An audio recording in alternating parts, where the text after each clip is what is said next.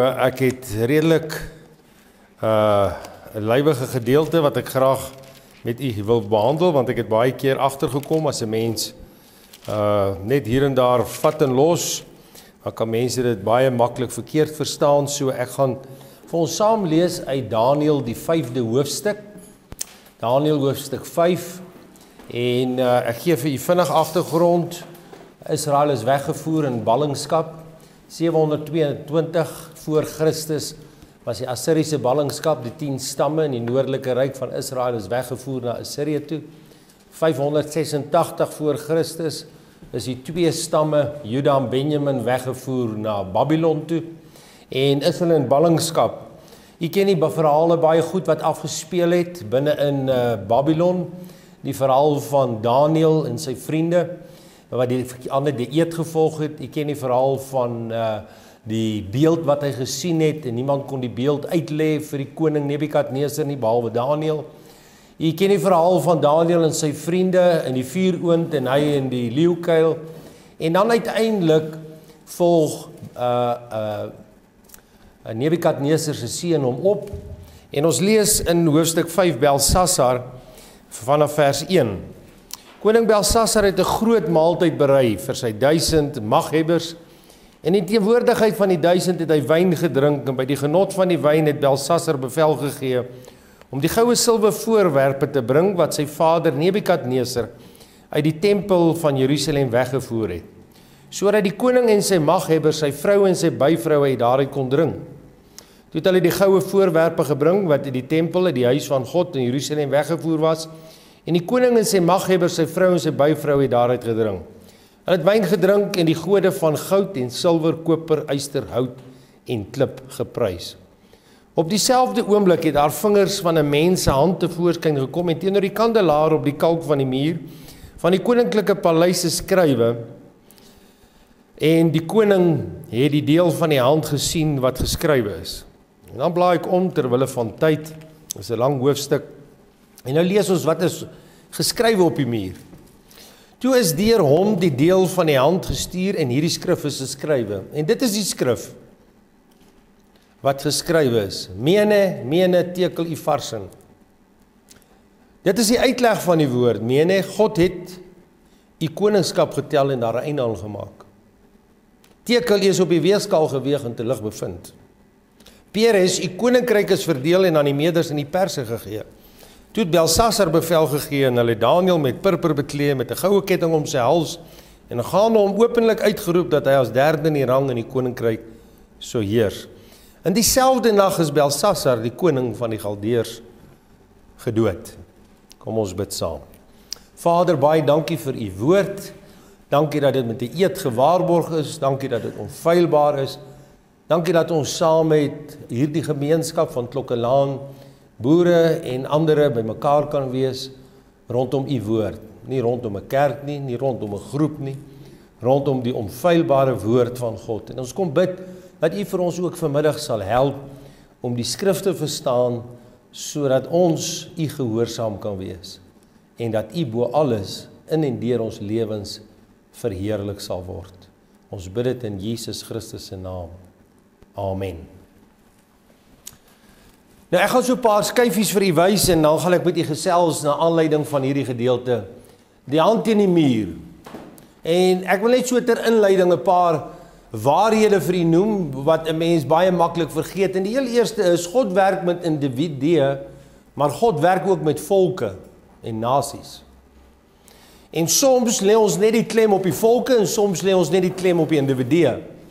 Ons moet bepaal uit sekere gedeeltes wat wil God sê soms vir 'n spesifieke persoon en soms vir 'n volk of vir 'n nasie. Die probleem is dat baie mense hierdie twee begrippe verwar en sekere gedeeltes nie verstaan nie. Hy gaan volke tot verantwoording roep vir hulle optredes. Hy gaan die individu eendag verantwoording doen roep en hierdie individu gaan eendag soos die Bybel vir ons sê voor 'n groot wit troon voor God staan en hy sal die mense oordeel waarvolgens hy geleef het.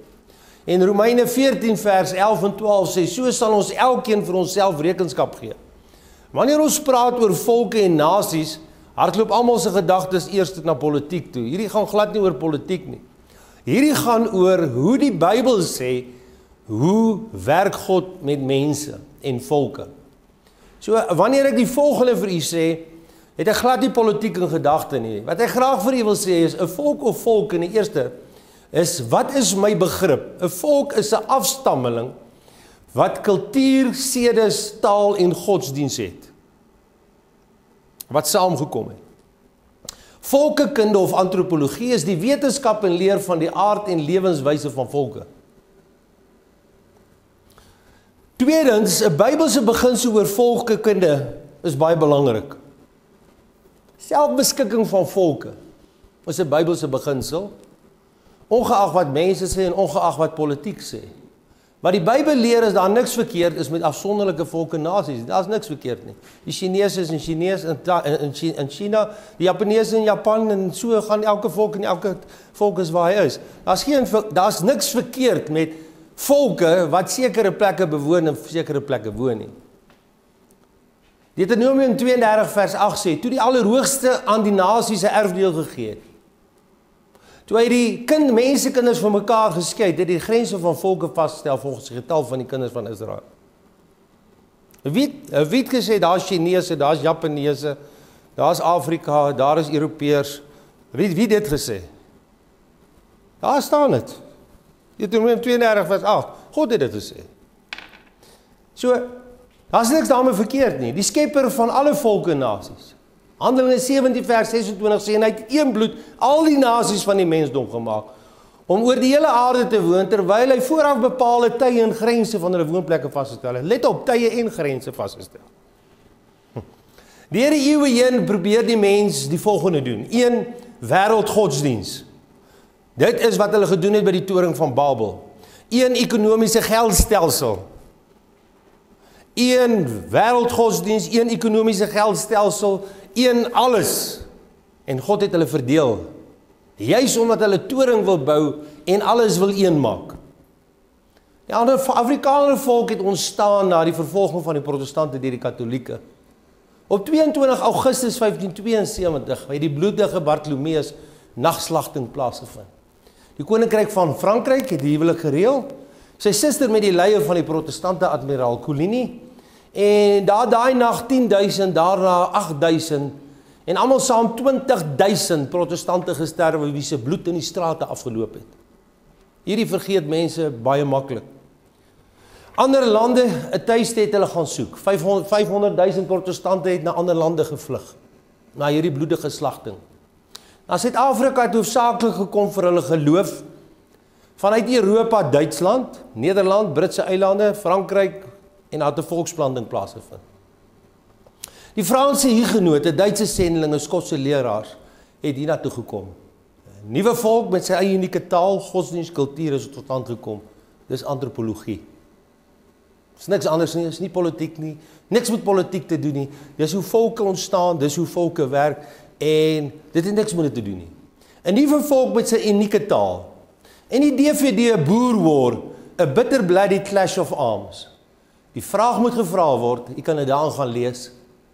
Wie is die mense wat Engeland 500 miljoen rand dollar askies gekos het? Die duurste oorlog wat ooit geveg is sonder opgeleide soldate en 18 maande die magtigste Britse ryk besig gehou het. Was 'n klompie boere in Suid-Afrika. Die antwoord is mense wat die waarde van familie. Nou gaan ek vir u die Bybelse beginsel bring. Hierdie mense het gevlug nie vir 'n beter lewe nie, nie vir meer geld nie. Hulle het gevlug vir hulle godsdiens, vir hulle taal, vir hulle waardes. Hulle het van die Romeinse kerk gevlug wat die mense bloediglik vervolg het en uitgemoor het by die duisende. Ek sê vir u vanmiddag, hulle bloed het in die strate geloop. Hulle is op brandstapels aan die brand gestreek. En ongelukkig is baie van ons iets verloor van iets van ons geskiedenis wat ons nie verstaan wat so offers mense voor ons gebring het nie. Die antwoord is mense wat 'n waarde van die familie het. Hulle godsdiens en hulle gemeenskap hoog aangeslaan het. Dis waarvoor hulle gevlug het. Derde punt wat ek graag net ter inleiding wil bespreek, 'n skepper het beskikkingsreg. God het beskikkingsreg. Of u en ek dit wil aanvaar of nie, dit is so. Dit beteken hy beskik die lotgevalle van nasies. Met ander woorde, hy beskik, bepaal en beplan die lotgevalle van alle nasies. Dit voel vir ons nie so nie. Dit lyk vir ons soms nie so nie. Dit lyk vir ons asof asof God nie bestaan nie, maar God beskik dit. U kan dit gaan lees in al daai verse van hoofstuk 4 van Daniël oor Nebukadneser in die groot Babylon waar Nebukadneser telke male in opstand gekom het teen God. Hy het ingegaan, hy het hy het die volk Israel, die twee stamme ryk, hy het die tempel verwoes, hy het die goue voorwerpe uit die tempel uit dit wat daar was as simbole van God se heiligheid, hy het hulle uitgeneem uit die tempel uit. Hy het dit weggevoer na Babylon toe.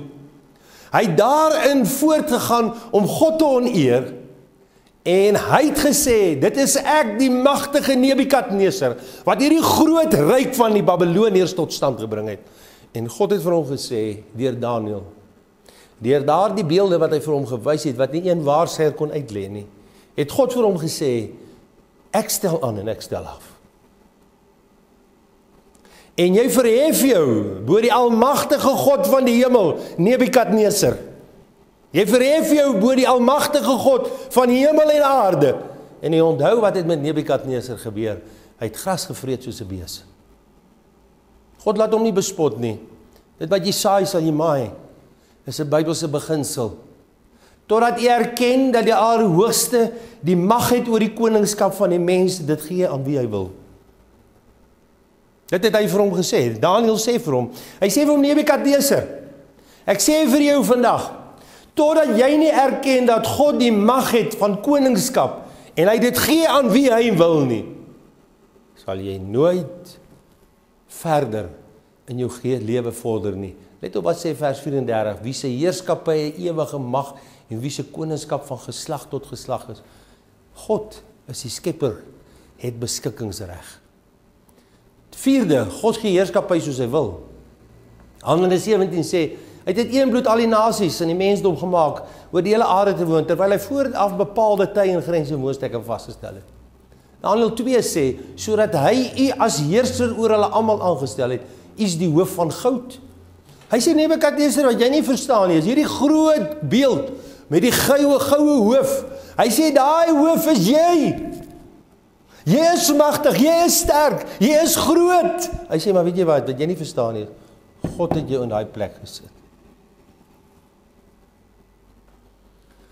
Hoofstuk 5 vers 18. Wat u betref o koning, die allerhoogste God het aan u vader Nebukadneser die koningskap en grootheid en heerlikheid met majesteit gegee. Hy sê dit vir sy seun Belsasar. Hy sê Belsasar, daar's iets wat jy nie verstaan nie. Jy het hierdie groot magtige ryk van jou pa geërf. Dis amper soos 'n seun wat wat groot erf van sy van sy pa af. En nou loop hy groot breë skouers, groot kop en hy dink, "Ooh, maar ek is wonderlik en ek is groot en ek is hierdie verskriklike vooraanstaande persoon." En God sê vir hom, weet jy wat? Belsasser. Dis nie eers jou pa wat dit opgewerk is nie. God het hom guns gegee. En vanweë die grootheid wat hy hom gegee het, en Suid-Afrikaners het ook beskikking selfbeskikking gekry. En God het dit aan ons gegee.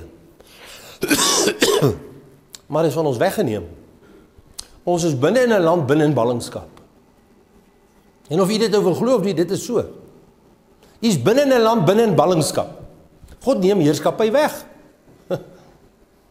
Hy het dit gedoen. Hy het dit met Israel gedoen. Hy het dit met ander volke gedoen. Hy het dit met ons gedoen. In Daniël 5 vers 26 kom daar 'n hand teen die muur. Mene mene tekeli varsin. En hier's iets baie belangriks in hierdie verhaal van Daniël. En daardie nag het die Meders en die Perse gekom en die koningskap van Belsasar af weggeneem. Iets baie belangrik is dat Belsasar wat die seun van Nebukadneser was. As u lees in hierdie gedeelte, dan lees u dat hy hierdie woorde daar skryf dat Daniël vir hom sê Belsasar terwyl jy dit alles geweet het. Is dit nie interessant nie? Hy sê weet jy Belsasar, Jy het alles gesien wat met jou pa gebeur het. Jy het dit alles belewe, dit het voor jou afgespeel. Jy het dit alles geweet. Jy was nie onkundig nie. Jy het dit alles geweet.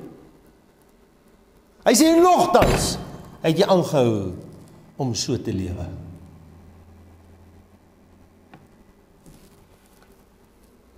En daarom skryf God.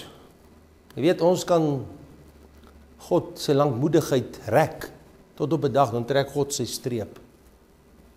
En ek wil vanmiddag met u behandel ses redes hoekom God heerskappy wegneem. 1 in hierdie is redes wat hulle met navorsing nagegaan het waar volke hulle selfbeskikking verloor het. Ontrou aan 'n gelofte wat aan God gemaak is. Gaan dit eers opsom en dan gaan ek na elke volk toe apart. Slim mense wat studie oor hierdie onderwerp doen, kop tot die gevolgtrekking. Die volgende ryk het hulle bestudeer: Babylon, die Romeine en Israel. Babylon. Wat was hulle redes hoekom hulle tot 'n val gekom het? Daai selfe ryk van Nebukadneser. 1. 'n Koning en 'n volk hom verhef bo God. Die oomblik wanneer 'n koning, 'n leier en wanneer 'n volk hom voor bo God begin verhef, dan besluit God ek het genoeg gehad. Dan trek God die streep. En baie mense in individue en persone se lewens presies dieselfde. Daarom het die Here vir Manasse gesê die koning van Israel jy terg my en hy staan bekend as een van die mees goddelooste konings wat daar ooit was. Hy noem hom in die Bybel Die terginge van Manasse. Manasse, jy het 'n etiket gekry. Jy het 'n eienskap geken, gekry. Jy het 'n bynaam gekry. Jy ter God.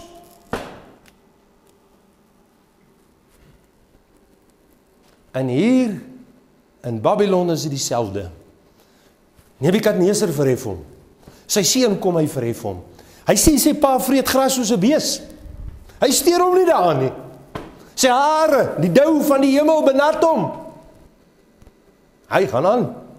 Hierdie selfe koning Belsasser, hy verhef hom. Al die wonderwerke deur Daniël. Alles speel af, hy stuur hom nie na nie. Hy reël 'n groot partytjie. Hy vat daai heilige voorwerpe wat in die tempel is. Noem dit in ons taal die nagmaalsbeker. En hy vat hom binne in hulle partytjie en hy begin die wyn skink en hulle begin dronk word en hulle begin partytjie hou. Met sy vroue en sy byvroue. En in ons taal sê ons nou kuier hulle lekker. Nou kuier hulle. En toe sê God genoeg van hierdie geterg. En dan kom 'n hand teen die muur mene. Mene. Teekelifarse jy's op die weegskaal geweeg en te lig bevind. Sê vir my as jy so terugkyk oor ons geskiedenis dink jy nie as jy sien wat het ons alles gedoen dat God eers 'n streep getrek het?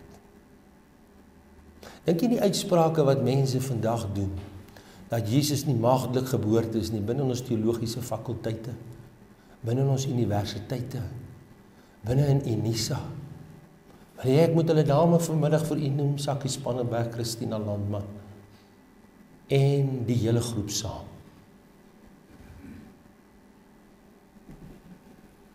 Dinkie God slaap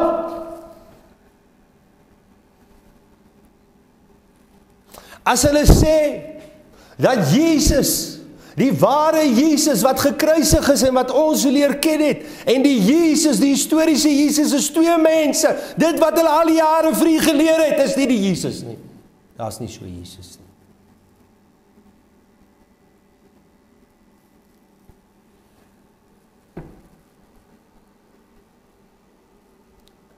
Ons het gedink ons kan maak en doen wat ons wil. In daai nag. Hulle sê terwyl hulle daai partytjie hou, gaan lees die geskiedenis oor hierdie verhaal, gaan lees in sommige geskiedenisboeke. onderdeur in die waterkanaal deurgegaan binne in die stad. Terwyl hulle nog partytjie hou, toe maak hulle hulle almal dood.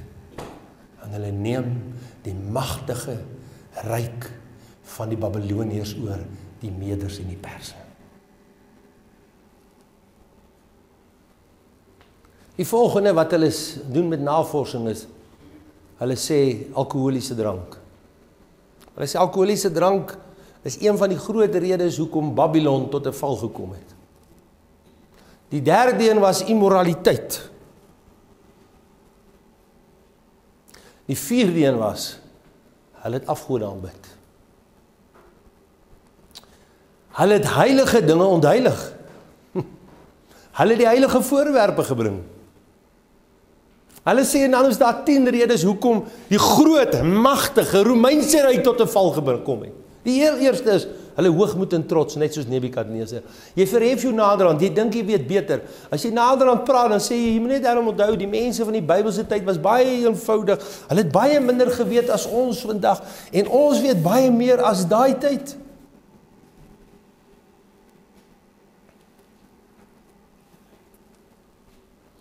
Daai hoogmoed en trots word so groot. Hulle sê die tweede rede hoekom die Romeine tot 'n val gekom het, was korrupte leiers. Die derde een was hebsug. As gevolg van hierdie hebsug kon hulle net nie genoeg kry nie. Hulle wou meer en meer hê. Saam met hoogmoed en trots is selfvoldaanheid. Niemand kan niemand niks leer nie. Ons is te slim. Die volgende een was lastering. Hoe laster ons nie? Kom nou die dag by iemand. Hy sê vir my Nardus, jy moet ek voel nou baie sleg, ek sê hoekom? Hy sê hier kom nou 'n boer hier van Edenburg hier aan. Hy sê maar kry skaam om jou hier te hê. Ek sê hy, ek sê hoekom? Hy sê want daai man as hy hier kom vloek hy verskriklik. Hy sê my vloek nie verskriklik nie. Hy gebruik die naam van die Here verskriklik uitder. Hy laster. Ek sê hy sê ek weet nie hoe hoe hoe gaan jy hier hoe gaan jy hier staan as hy hier inkom nie. En hy gee nie om wie is daar nie. Sê vir hom Dawie moenie bekommerd wees nie. Los dit net. Ek sê nog gesels. Waar het jy tyd gekry waar ons die naam van die Here so laster soos nou? Ons laster. Elke tweede, derde woord laster hulle die naam van die Here. Soms is dit in films. Oh my God. Oh my God. Hoekom sê hulle nie ou Allah nie? Hoekom sê hulle nie ou Hare Krishna nie?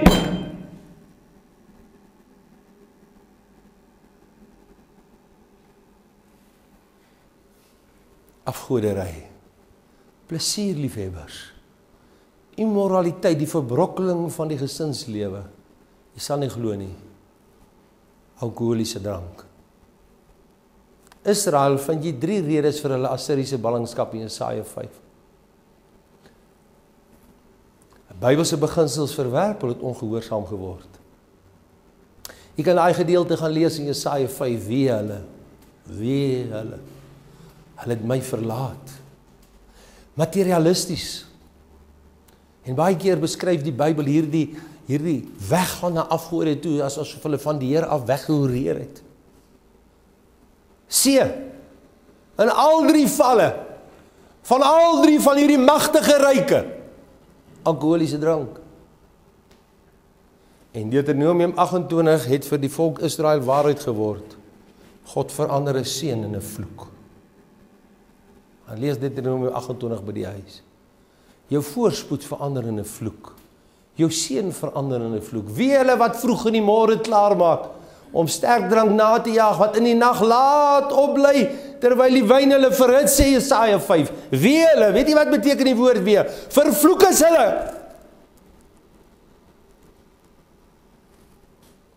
En daar is 'n siter en 'n harp en 'n tamboerijn en 'n fluit en wyn by hulle maaltyd, maar op die dade van die Here gee hulle nie ag nie en die werk van sy hande sien hulle nie. Daarom gaan my volk in ballingskap weens die gebrek aan kennis en hulle aansienlikes word hongerleiers en hulle menigtes versmag van dors. En ons leiers en ons predikers en ons predikante, ons sê dit nie vir ons mense nie. En as ons dit vir hulle sê, dan is hulle kwaad.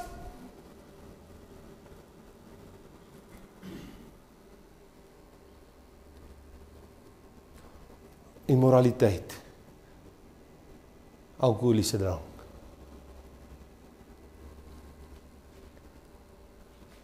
Skus ek het verkeerde kant toe gaan. Wat van Suid-Afrika en Suid-Afrikaners?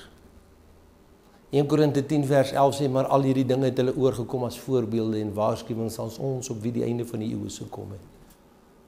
Dit wat met volke en nasies gebeur is vir ons voorbeelde. Vir geslagte tot geslagte sal dit voorbeelde wees.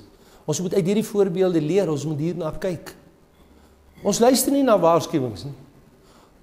Kom ons kyk na 'n paar raakpunte dan kan ons 'n logiese gevolgtrekking maak. Kom ons vergelyk hierdie drie volke en ons kyk na daai. Ek gee vir u statistieke 1981. Dit is nou so 10 jaar plus voor 94. Ons verstaan dit mos nou mooi. In 1981 volgens die Nasionale Statistiekdiens net op alkoholiese drank in Suid-Afrika het ons 5 miljoen elke dag uitgedrink. Suid-Afrika. 5 miljoen 21 miljard is jaarliks spandeer aan drankadvertensies. 21 miljard rand net om vir mense te sê drink. 22 sent uit elke rand is aan drank spandeer. 500 miljoen is jaarliks aan manure verloor as gevolg van drank. Dis 81. 4000 persone het op paaie gesterf as gevolg van drank 'n jaar. Dit beteken tussen 11 en 15 per dag. 85% van alle egskeidings het alkohol 'n rol gespeel. 85%. 95% van alle mans het gedrink. Hoorie, 95%. 5 nie. Ek was een van hulle in die weermag. Hulle het vir jou gelag. Hulle het jou bespot. Hulle het gemaak asof jy idioot is. Hulle gedink jy's kweer. Hulle het gedink jy's snaaks.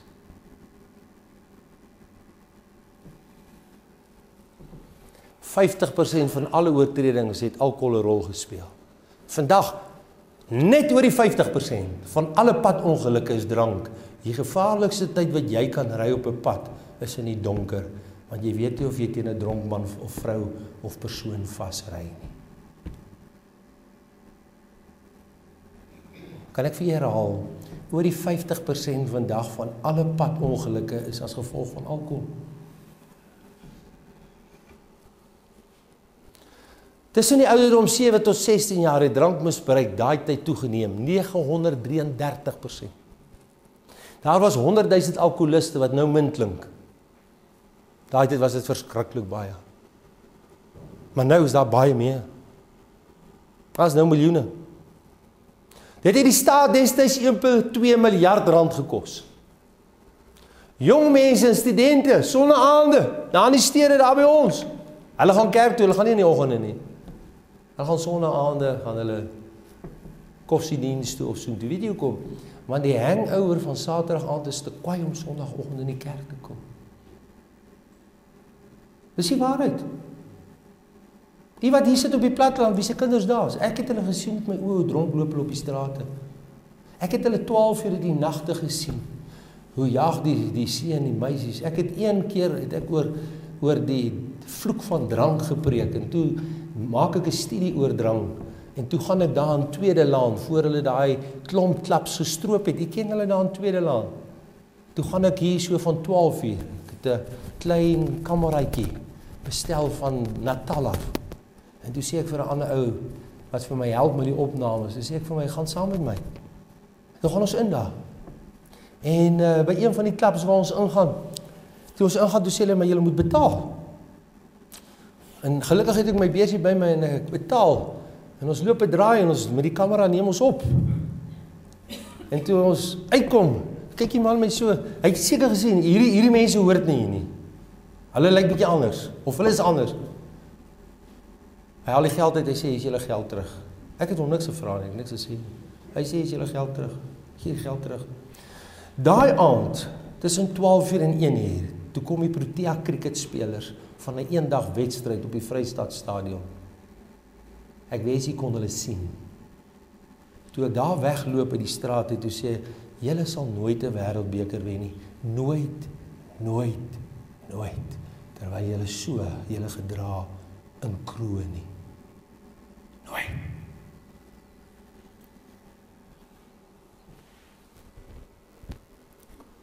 Dit is wat dit is. Afgode. Ons het die dubbelgod. Ons het die geluksgod aanbid. Ons het hom 'n ander naam gegee. Ons sê ons dobbel nie meer nie. Ons sê ons speel net lotto. Ons dobbel nie. Nee nee nee, ons Suid-Afrikaners dobbel nie. Ons speel net lotto. Die geldgod en materialisme het ons ingesluk. Ons kry nie genoeg nie. Ons koop, ons koop, ons koop, ons koop 7 dae week. Daar by ons in die stad, die groot inkoop die dag is Sondag. Ons gaan nie kerk toe nie. Nee, nee, nee, wie gaan kerk toe? Dis ou tydse mense. Haai mense gaan kerk toe Sondag. Nee, Sondag. Mols toe ons gaan ons ons gaan inkopies doen. Jy weet ons is besig. Daar's nie tyd vir kerk gaan nie. Nee, nee.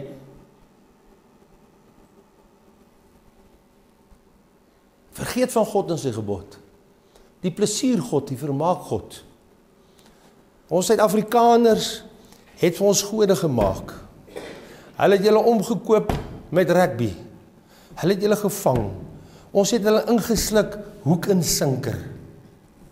En God van sport het ons God geword. Dis watersport Sondag, dis balsport, dis wielesport, dis voetesport.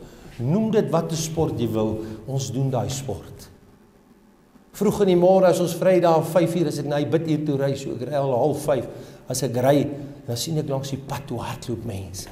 Daai tyd van die môre, hulle hardloop, die mense wat hierdie lang afstand net die kommer is hardloop. 05:30 in die môre as ek gaan bid, kry ek hulle hulle hardloop. Sê vir hulle moet kerk toe kom, sê hulle moet kom bid. En jy is moeg. Dit is besige mense.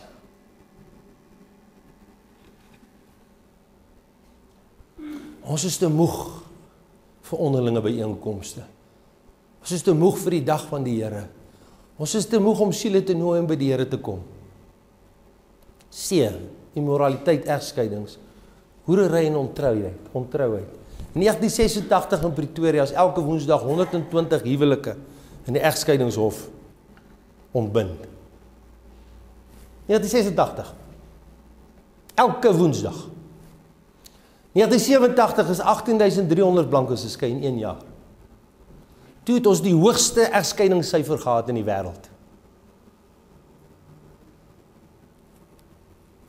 Suid-Afrika het die hoogste egskeidingssyfer gehad. Maleagi 2 sê, want ek haat egskeiding sê die Here die God van Israel. Volgens mesaksie wat daar in Johannesburg werk onder dwelmverslaafdes en prostituie is daar daagliks 2.3 miljoen rand in Johannesburg spandeer. Oorie 2.3 miljoen rand per dag. 27000 mans besoek daagliks prostituie.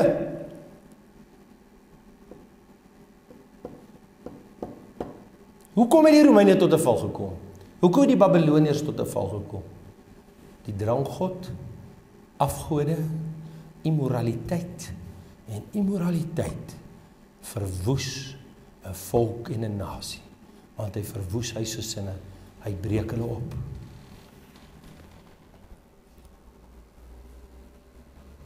Ons ry daar af u ken Bloemfontein en Pinaar en met die robot daar voor by St Michaels my broer ry saam met my.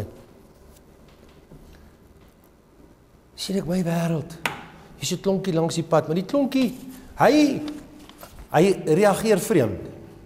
Ek sien hy hy maak so die kar verbykom. Ek sê vir my broer, ek sê ja, weet jy wat? Daar's iets fout daar. Hy sê wat? Ek sê daai daai knaap het nou baie onnatuurlik opgetree. Hy sê dink jy so? Ek sê ja. Hy sê stop, ek stop. Stoot terug. Toe sit hy met 'n boek met kaal blanke vrouens. Kyk hy pornografie. So klonkie.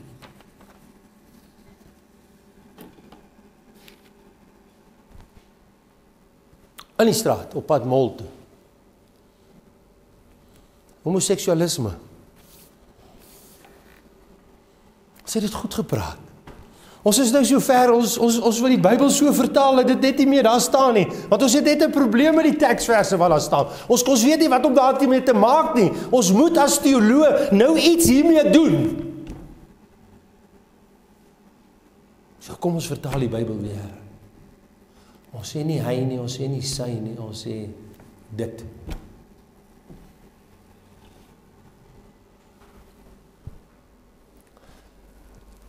Let op wat sê Psalm 2 vers 9. U sal hulle nasies verpletter met 'n eysterstaf.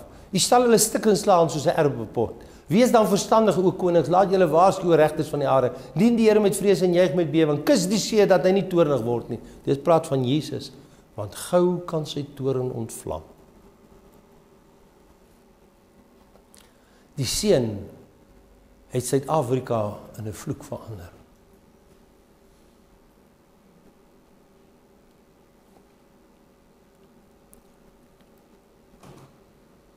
Kan ek net een iets sê? Nog 'n rede in die Bybel waaroor volke in ballingskap gaan is as mense hulle geloftes teenoor God verbreek. As jy 'n gelofte aan God gemaak het en jy breek jou gelofte. Hoor mooi wat ek vir u sê. Ek sal dit vir u stuk vir stuk uit die Bybel wys. En weet jy 'n volk kan 'n gelofte namens 'n leiers kan 'n gelofte namens 'n volk maak. En een gelofte wat die Afrikaner volk gemaak het was by Bloedrivier. En dit is so ver verwyder van ons dat ons nie eens weet wat daar aangaan nie. Ons ken nie eens meer die geskiedenis nie. Jou kinders ken dit nie eens meer nie. En ons het 'n gelofte aan God gemaak. Ons het daai gelofte gebreek. Gaan vra vir dokter Willie Maree voor sy dood wat dink hy wat het die Afrikaner prys gegee toe hy sy gelofte wat hy aan God gemaak het verbreek het. 2 persoonlike geloftes. Watse persoonlike geloftes het jy en ek al aan die Here gemaak? Die Here dien in sy voorskrifte nakom, maar ons het besondig met heidense gebruike, geluksgoeding, die casinos, die lottos, die pornografie, die onrein gruwel sê die Bybel en so mee. Ons het vermeng en in ons godsdiens. Gaan lees Esdra 9. As jy gelofte aan God gedoen het, stel nie uit om dit te betaal nie. Maar as seën welgevalle in dwaase nie. Betaal wat jy beloof het. Dis beter dat jy nie beloof nie as dat jy beloof en nie betaal nie. Hierdie is 'n plakkerskam. Ek het in die wêreld groot geword in Kreersdorp. 'n Wit plakkerskam. Nou wil ek vir u wys hoe verander 'n seën in 'n vloek.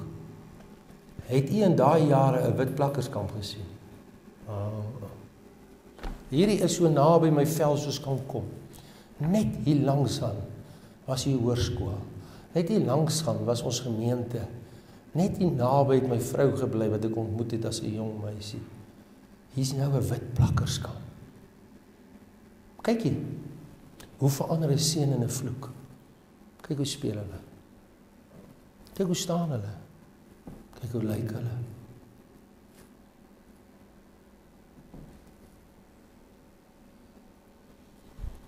Sê vir my vanmiddag breek jou hart nie.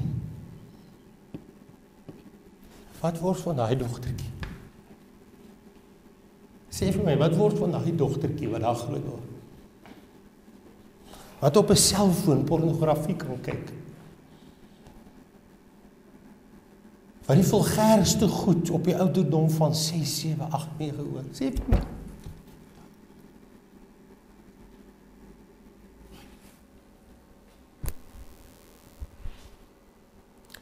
Daar's altyd geld vir drank en sigarette. Kyk waar doen hy huiswerk.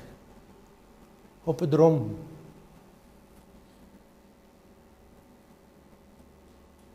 Dis waar hulle speel.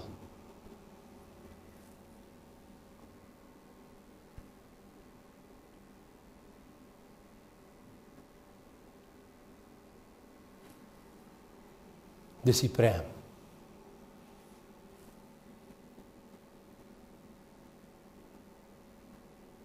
Het jy al hierdie vers gelees waar jou seën in 'n vloek verander?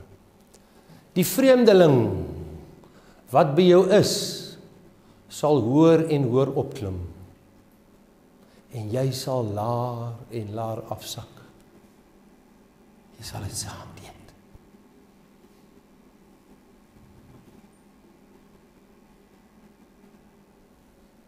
Gaan nie vir my oor rasisme nie, gaan nie oor politiek nie. Gaan oor een iets As jy God verloor het langs die pad, dan verander jou seën in 'n vloek.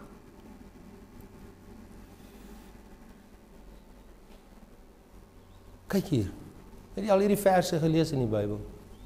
Hierdie twee bly saam. Hulle is nie getroud nie. En toe sê vroeg, te vroeg geboorte gegee aan die kleintjie. Maar het jy al ooit hierdie vers gelees? Jou seuns en jou dogters word aan 'n ander volk gegee terwyl jou oë dit sien, Suid-Afrika. Jou oë sien dit vanmiddag. En jy sal 'n voorwerp van verbasing, 'n spreekwoord en 'n spot word wees onder die al die volke waarheen die Here jou sal wegvoer.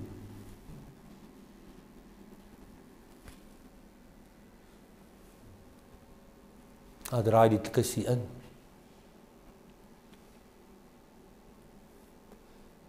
Hierdie oomie gaan hulle begrawe.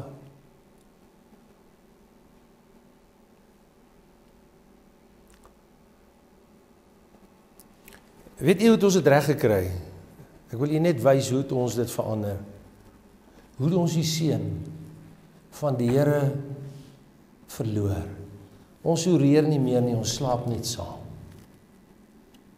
Het jy al wanneer laas het u die woord gehoor hoereerder of 'n hoer of hoerery? Mm, mm, nee, nee, nee. Spraak nie so nie. Jong, dis mos nie, ons het mos nou 'n nuwe uitdrukking. Dis nie kanseltaal. Dis nie polities korrek nie. Maar die Bybel is vol daarvan. Die Bybel sê geen hoereerder sal die koninkryk van God ingaan nie. Openbaring 21 vers 8. Maar weet jy wat sê ons nou? Ons sê nee, ons doen nie meer dit nie, ons slaap net saam. Kyk nou mooi. Ons vloek nie meer nie, ons gebruik net sterk woorde. Ons dobbel nie meer nie, ons speel net vir liefdadigheid. En weet julle wat, dit is die geld van elke goeie diens, is liefdadigheid. Ons is nie meer dronkaards nie, ons is net alkoholiste. Wanneer as jy die woord gehoor 'n dronkaard? Die Bybel sê geen dronkaard sal die koninkryk van God ingaan nie.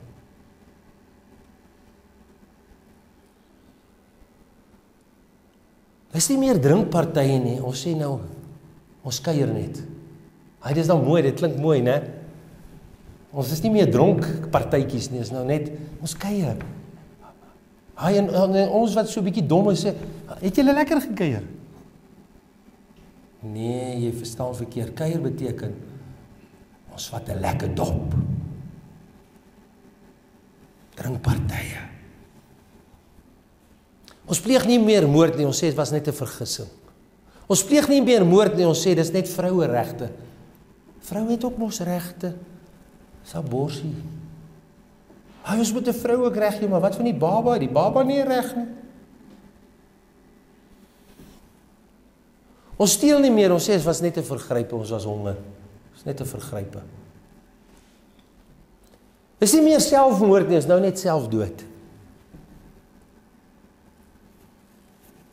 So ons het alles so mooi verduidelik. Ons het onsself so aan die slaap gesis. Ons het onsself so knissies. Het ons onsself so selftevrede laat voel. Goed laat voel oor ons sonde. Want dit is nie meer sonde nie. Ons sê nie dis meer sonde nie. Ons sê hierdie is nie sonde nie. Die hand is teen die muur Suid-Afrika en jy's in ballingskap. Jy's 'n banneling. Hoor wat sê die Here. U ken al hierdie verse en almal quoteer hierdie verse of hulle biddag of ons 'n biddag vir reën hou of ons 'n biddag hou of ons 'n verootmoedigingsdag hou of wat ons dit ook al doen. ons quoteer die vers, maar ons sien nie alhoewel wat hierdie vers sê nie, gaan nie meer afsluit. Die Here sê as ek die hemel toesluit dat daar geen reën is nie. Of as ek die sprinkaan beveel om die land af te eet of die pes onder die volk stuur. En my volk oor wie my naam uitgeroep is, hulle verootmoedig en bid en my aangesig soek en hulle bekeer van hulle verkeerde weë, dan sal ek in die hemel hoor hulle sonde vergewe en land genees. Jy sê vir my vanmiddag, Nardus, maar dis 'n donker prentjie wat jy skets. Dit is verskriklik. Ons is juis in hierdie gat, dis 'n verskriklike toestand. En dit waaraan ons nou in Suid-Afrika is verskriklik. Ja, dis verskriklik. Maar ons moet eers ons probleem sien voor ons die oplossing sien. Ons moet dit eers sien voordat ons hier die oplossing sien. Hy sê as ek die hemel sluit, as dit nou met julle gebeur het, wat nou gebeur het. Hy sê en daar's 'n pes onder ons. En daar kom verskillende goed wat ons tref. Hy sê en ons roep die naam van die Here aan. En die eerste is ons verootmoedig ons en ons bid. En die derde is ons bekeer ons van ons verkeerde weë. dan sal ek in die hemel hoor. Twee goed doen. Hulle sonde vergewe en hulle land genees. Hoorie. Drie goed moet ons doen, dan sal God twee goed doen.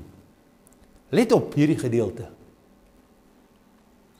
Daar's 'n onvoorwaardelike gelofte en 'n voorwaardelike gelofte. Onvoorwaardelike gelofte is God doen dit sonder dat ek iets beloof. Maar hierdie hierdie gedeelte is 'n voorwaardelike gelofte. As jy sal ek, dis 'n voorwaardelike gelofte. Daar's 'n voorwaarde gekoppel aan God wat sal.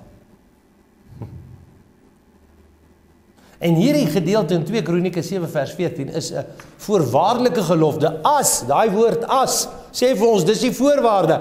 As my volk oor wie my naam uitgeroep het, hulle vrootmoedig en bid, dan sal ek uit die hemel hoor, hulle sonde vergewe en hulle land genees. wat is vrootmoediging? Weet jy wat is vrootmoediging? Presies die teenoorgestelde wat Nebukadnesar, die Romeine, ons leiers en onsself gedoen het in die verlede is dis om ons te verhef. Is om ons hand te vat en ons eie boesem te steek en te sê Here ek het gesondig teenoor U. Ek. Nie ander nie ek. Ek is deel daarvan.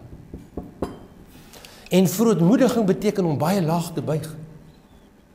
Dr Andrew Murray het gesê hy sê dis die hoogste bome wat se takke die laagste buig daai ou groot wilgerboom daar by die vlei wat groot en hoog is. Ag, en jy sou kan maar ou kort chokkertjie wees soos ek toe ek klein was. Jy kan kom, jy vat daai takke so. Jy vat so bommel by mekaar. En jy swaai op hom. Maar hy grootste boom, sy takke buig die laagste. Hy sê as my volk oor wie my naam uitgeroep is, hulle verootmoedig, as een ek op ons aangesig voor God gaan lê. Ek wil die vanmiddag sê en dit wat Rudy gesê het is die waarheid. God het nie massa mense nodig nie. Hy het enkelinge, hy het Daniël en drie vriende nodig. En ek wonder of u vanmiddag kan glo dat God kan verander. Dink u? Dink u? Dat Sarel se lewe was meer as wat ons is. Daai klein groepie wat 'n gelofte teenoor God gemaak het en God het hulle gehoor.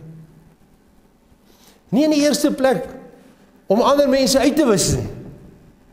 Maar dat God ons hoor en ons hom so sal terugkeer en hy ons genadig sal wees en hy vir ons uitkomste sal gee. As my volk oor wie my naam uitgeroep is, hulle vrootmoedig. As hulle hulle vrootmoedig om laag te kan buig. Jou nietigheid voor die Here te verklaar. Weet u wat soek ons? Jy moet jou onvermoë erken. Sê Here, ek het planne.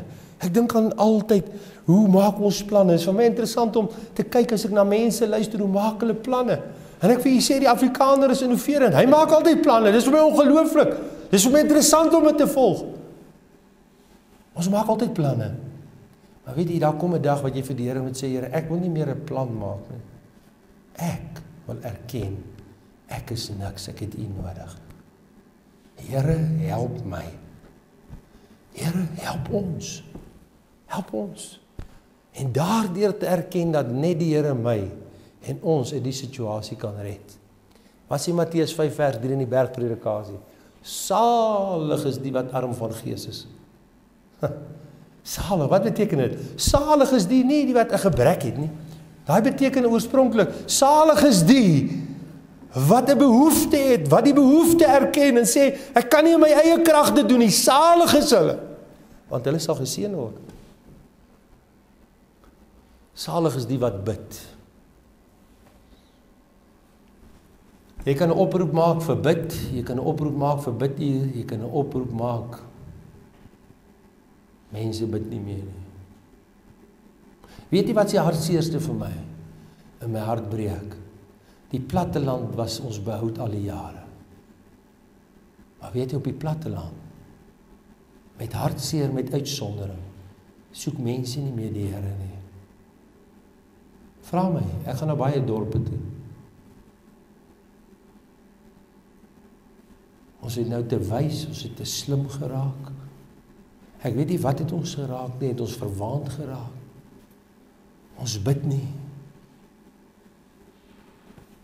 Hy sê as my volk oor wie my naam uitgeroep is, hulle vrootmoedig en bid. Gebed is die sleutel. Want iemand wat bid, sê daardeur hy's afhanklik. As jy nie bid nie, dan sê jy maar Here, ek ek is reg soos ek is. Ek gaan ek gaan hierdie ding, ek gaan verskoon my uitdrukking, ek gaan hom deurfight. Baie groot paters. Baie paniekerig. En mense wat beangstig is vandag gee hulle self weg. Want ek was nie op 'n plek waar ek vir die Here gesê het, Here. Ek besef nou is dit net U nie. En ek vertrou net U nie. Help my, Here. Van 1982 af preek ek. En van 1982 het ek die ding so sien ontvou en ek het nog altyd vir hulle gesê dit gaan met ons te goed. En my geslag mense was die mense wat die beste voordeel gehad het ooit. Maar dit moet ons gaan met ons te goed. En omdat dit ons met ons te goed gaan, het ons nie 'n behoefte om God te soek nie. Ons te voor hom te verootmoedig nie, laag voor hom te lê en nie te bid nie. Dit verraai hulle posisie van biddeloosheid. En dan sê ek moet hom soek. sê Jeremia 29 vers 13 vir ons nie. As jy my soek en na my vra met jy my hele hele hart sal jy my vind. Baie van ons soek die Here met ons mond sonnaoggende. Daarna gaan leef ons soos ons wil. Baie van ons soek die Here om net in te wees. Maar ons soek nie die Here regtig met ons hart nie. Ons soek hom alwaartig. Ons soek hom as 'n spaarwiel. Help ons uit, Here. Help ons net uit die nood uit. Help ons uit die moeilikheid. As ons slaai uit die nood uit is, is ons verby. Jare terug het ek dienste daar in die Wes-Vrystaat gehou, Bultfontein, Bultfontein en Botawil en Bultfontein van alle plekke. Dan ken die mense baie goed daarso, boere.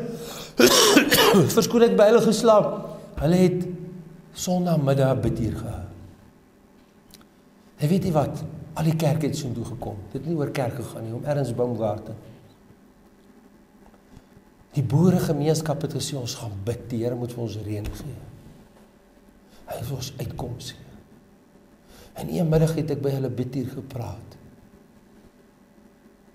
En toe die reën kom, toe vergeet ons dat ons God moet dank en dat ons moet aanhou bid. So as die Here ons uit die hoek uit het. As ons Here net so 'n bietjie op die kant, ons is net 'n bietjie besig. Hy sê nee, ek moet hom nie so soek nie. Ek soek hom met my hele hart. Ek soek hom nie halfhartig nie. Soek hom met verstand, met jou hele verstand, jou hele wil, met al jou kragte. Soek hom met jou hele wese. Soek die Here. Moenie rus nie. Soek hom. Bekeer. Bekeer hulle van hulle verkeerde weë. Ek sal alles doen, maar ek sal my nie bekeer nie. Ek sal nie my sonde los nie. En as jy nie jou sonde los nie, bekeer jy nie, want Spreuke 28 vers 13 sê hy wat sy oortredinge bedek sal nie voorspoedig wees nie. Hy wat dit bely en laat staan sal barmhartigheid vind. Bekering beteken wat ons in die weermag geleer het, maar seer na die deur toe dan sê omkeer, dan sê hy tyd, tyd 1 2, dan loop jy na die muur toe. Jy draai 180 grade om. Jy draai van die breë weg om na die smal weg toe. Jy bekeer jou van jou sonde en jou verkeerde weë. En hierdie goed wat ons afvallig van God gemaak het, ons bekeer ons daarvan, ons draai weg daarvan. Ons hou verootmoedig ons dienste en bid ure en alles. As ons daar klaar is, dan gaan ons aan met ons sonde. Ons het nie gedoen wat God sê nie. Ons het nie ons verootmoedig nie, ons het nie gebid nie, ons het nie God gesoek nie, ons het ons nie bekeer nie. Ons het 'n lippe godsdiens. 'n Omdraai en 'n wegdraai van my sonde. Dis wat dit is. As ek die hemel toesluit. Luister mooi en daar geen reën is nie. As die springkaan beveel om die land af te eet of as die pes onder die volk stuur. En my volk oor wie my naam uitgeroep is, hulle vrootmoedig bid my aangesig soek en hulle bekeer van hulle verkeerde weë. Ek wil u iets positiefs sê vanmiddag. Ek wil u vanmiddag sê in my kort lewe het ek God beproef. As jy dit doen, nie miskien nie, nie dalk nie, nie hoop nie, dan sal ek uit die hemel hoor. God is God. Hy's nie 'n mens nie. Hy's ook nie ons maatjie nie. As jy jou tot God wend en jy bedoel dit en jy is opreg tot hom, sal hy uit die hemel hoor jou sonde vergewe en hy sal jou land genees. Wie sê dit moontlik? Ek sê vir julle dit is moontlik. Wie sê so? Mense, kerke nee. God sê so. En jy het 'n keuse vanmiddag of u en ek mense meer glo as God. Jy het 'n keuse vanmiddag of u u self glo of God glo. Maar ek wil vir u sê daar's 'n voorwaardelike belofte hierdie. Daar's 'n voorwaarde gekoppel. Ek en u moet ons verootmoedig voor die Here. Ons moet bid. Ons moet hom soek. Ons moet ons bekeer. En ek wil vir u vanmiddag vra, was daar al ooit 'n dag in jou lewe waar jy jou bekeer het van jou verlore toestand? Waar jy in lewe gesê Here, ek draai weg van my sonde. Ek draai na U toe, Here. Ek wend my tot U. Ek roep tot U, Here. Wees my genadig, maak my U kind, Here. Vergewe my sondes. Kom woon in my hart, Here. Ek bekeer my tot U. Here, kom woon hierso. Ek wil U vanmiddag sê, as die Here 'n paar mense in Suid-Afrika kry wat dit bedoel, wat opreg is, dan sal die Here uit die hemel hoor. Ek het deur my lewe geglo dat God en jy kan gaan kyk in die geskiedenis. God het 'n plan met die wêreld, maar God op op die gebed en die oproep van 'n mens tot die Here. Vra vir Hiskia. Hy het gesê Here, dink ook met 'n onverdeelde hart u gedien het spaar my lewe nog 'n klomp jare en die Here het hom gespaar. Dink hoe die Here dikwels uitkomste gee vir sy volk. Die Here kan vir 'n tyd lank geskiedenis verander. Maar hy soek mense wat dit glo. Hy soek mense wat hom tot God bekeer. Hy soek mense wat hom soek. Hy soek mense wat hom verontmoedig. Hy soek mense wat hom aangryp in gebed. Amen.